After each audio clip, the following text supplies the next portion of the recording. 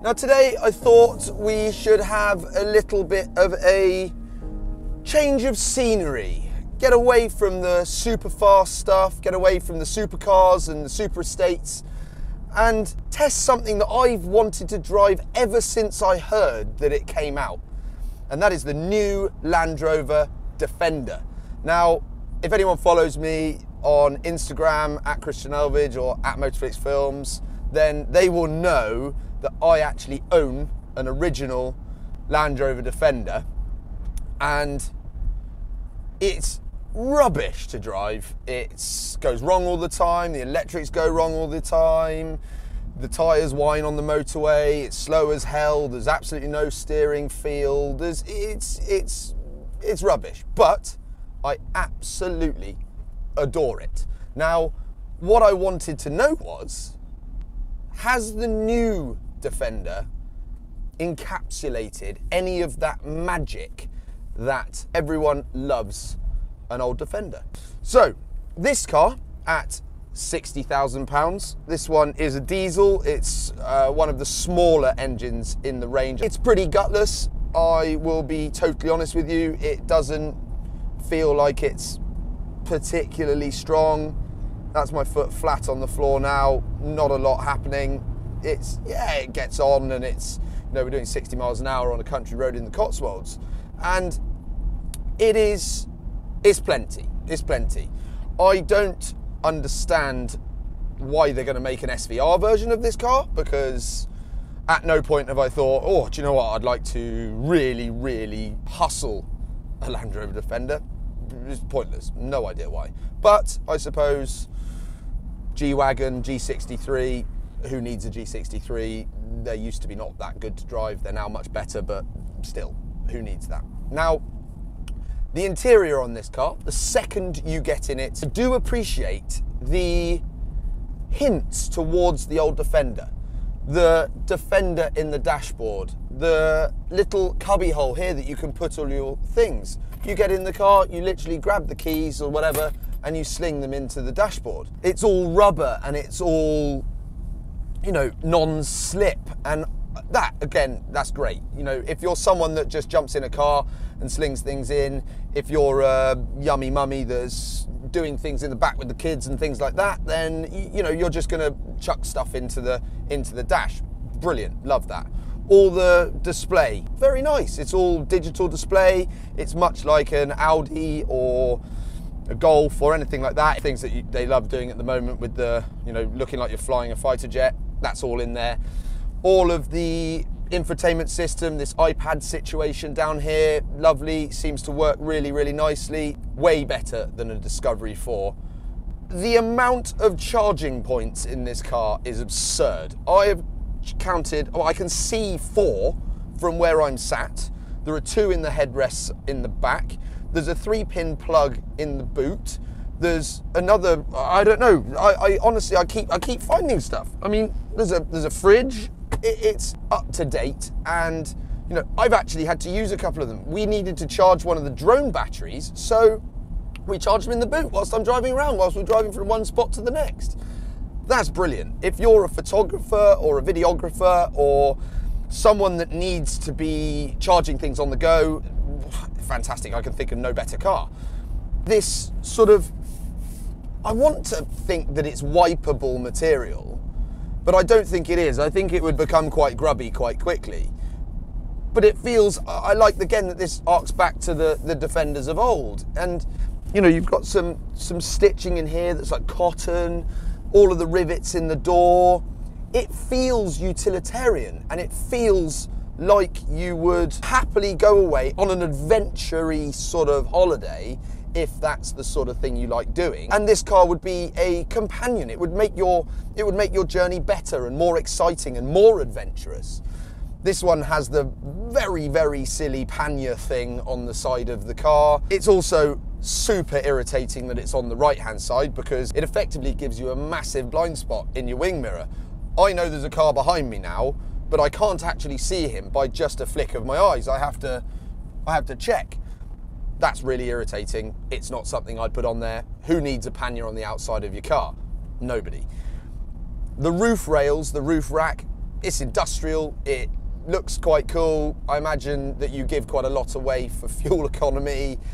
But if you want to put canoes or bicycles or whatever you want to put on the roof, that would do the job beautifully. There are grab handles bloody everywhere. I mean, it's great. You get in, there's a grab handle here, big, sturdy, manly grab handle. There's a grab handle in the back to get in. There's grab handles. I don't know why. What driver is going to be grabbing this handle? That's weird. But, you know, fine. Very good. The rear view mirror as well is super cool. So if you've got this fully laden and you, you know you've got it full of stuff to go on your adventuring camping trip somewhere that God forbid you'd have to sleep on the floor or something. But when you've got it fully laden, you just flick this little button and it becomes a screen. and it's you can see so far. You can see wide and it's a bit weird to start with, but it actually works really nicely and you become quite used to it. I quite like that. I think that's a, that's a really clever thing that Land Rover have done before anyone else. Someone will probably say now that you can probably get it on Kia or something, but I don't care. It's really good on this one, but it is nicer to have it on normal. The exterior of the car, I again, I quite like it. I like the flat lines at the back. I like the lights. I like the lights on the front and the rear. I like the checker plate on the bonnet. I like the 110 silly sticker or whatever that is. I like the look of it. I think it looks cool. I think it looks like an updated, modern version of a Discovery 4. Now, I genuinely think that that is the sort of market that this car should be going for. It's not going for the old Defender market. It maybe shouldn't be called the new Defender. It should be called the new I don't know, Discovery Adventure or something. I, I, I don't know because it's not a Discovery Sport because they're just not cool. It's not a Discovery 5 because they're as ugly as sin. It's somewhere in between the two, and I, I just think that this, this is for that person that wants the convenience of a big car, but wants to also look cool in it. This is effectively, this is an amazing laptop, this car. It's you know, it's doing something like 20 million different things at once, but it is extremely clever. All comes up on, on here when you're going off-roading and you know, doing things that you probably shouldn't be doing in such an expensive car. The air suspension on this car is lovely. The ride is super supple. It's really, really clever the way it goes up and down. You can press the little road mode, which is there, and then you can put it in off-road mode and it goes up by a long way. I'm talking like it looks like nearly a foot. I mean, it's incredible.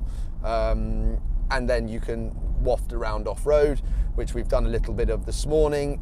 Yeah, it's that's that's brilliant. And just to know that you can do all of those things is super cool. You know, if you own a Bugatti Veyron, for instance, you never ever are gonna go 260 miles an hour. But it's nice to know it's there, you know? The young family, they're gonna go out and they're going to go through a puddle in the countryside occasionally. It's nice to know that it all weighed up to its up to its door handles. They're never going to do it, but what are you going to do? That again, it's off-road capabilities. This car has some silly Scorpion road tyres on it, but all of the other gubbins for it to go and do a you know climb Pikes Peak or something. I don't know why you would spec it like that. You're going to be on the road most of the time. Spec it as a road car. Don't spec it as an off road car. This is a, a road car that is capable off road. The old Defender was an off road car that could go on a road. Simple as that, really. The dynamics of this car steering feel doesn't really exist. There isn't any. Uh, it's it's fine. The steering wheel itself and the touch points of this car I hate this plastic on the steering wheel. I hate it. It just feels horrible. The brakes are so over servo assisted. I don't know why they've done that either. So you immediately you stop way too hard occasionally. That's fine. I got out of my old Defender, which is like throwing an anchor out of the boot when you want to brake. So maybe it's because of that. This has a stereo that works. I mean, my stereo in my Defender you turn it up too loud, the doors start rattling, the windows start rattling, you can't really hear what's being said, it becomes completely tinny and completely pointless. So you have to listen to it on very, very low, but you can sort of more or less make out what's being played. This one is absolutely fantastic. It's a Meridian unit in this one, wonderful. Again, if you don't already, subscribe to the channel, click the little ding ding bell thing um, to be notified of any of these fantastic videos that are coming your way at the moment. Oh, look at this. Let's go and do a little bit of off-roading, shall we? Right, so off-roading. I want to leave it in that and I'm just going to press the little button here and you can literally up we go and it goes up at the front first and then it goes up at the rear and now I feel like an absolute boss. Let's go. Silly pannier that I can't see out the back. Ridiculous. I don't understand with this why with the gearbox they haven't it's a nice it's a lovely gearbox on the road um, and I'm sure with all of the all of the gubbins on here that you can press and all of the snow mode, the desert mode, the rutty mode, the wadey mode, all of those different things, all the different off-road modes, all the diffs do different stuff and all of that. I don't know why they haven't given you paddles with the gearbox so you can hold the gear. That seems odd to me. Why it's got sport mode with this pretty gutless little engine, I don't know. All of the buttons in here, rugged. You could press them with a glove on. Love that. We're just literally driving down a a Cotswold stone off-roady sort of gravelly sandy road and this car is it deals with it beautifully. I would like to take this skiing, put some knobblies on it and yeah, I think it would be I think it'd be great fun. I like it. I like it. I can see myself driving one of these every day.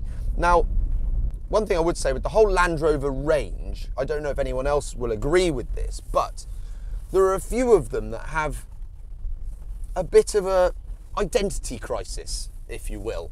Now, the Evoque is predominantly owned by hairdressers um, or people that think they should buy a Range Rover and want to buy a Range Rover, but can't either afford a Range Rover or they don't want something as big as a real Range Rover. The Range Rover Sport, I love a Range Rover Sport. I think they look the best in the range and I think they drive the best in the range. They're great. The big Range Rover, again, super cool. The Velar or Velour or whatever it's called. Mm, again, that's that's a bit of a for me. That's a bit of a look how much money I have, but I don't really want a big Range Rover. This, I don't think, is in any of that. I think this is in a category of its own. I think this is in the category that the guy driving it would feel like a boss and go off roading and go mountain biking and get muddy and throw his wellies in the back and take the dogs and do all of that.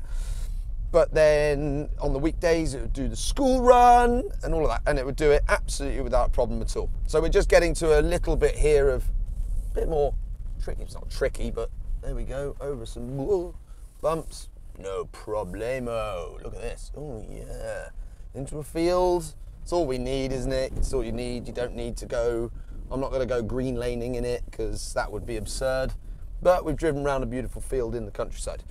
And, you know, this is probably more likely to be seen at the Beaufort Polo or Cirencester Park you know, waving at Prince Harry and William than it is to be seen green laning with a load of yobbos in old Discovery 2s. For me, this car is for a young family that has a few quid, that has two kids, two dogs, and likes to go away on the weekend. I think if you're that person and you want to drive across a field or ford through a couple of little streams to get to your campsite or to get to your, you know, expensive little shack at Soho farmhouse, I think this is the car for you. I think it's wicked. I think it's really, really nice. But is it anything to do with the old Defender? Absolutely not. No.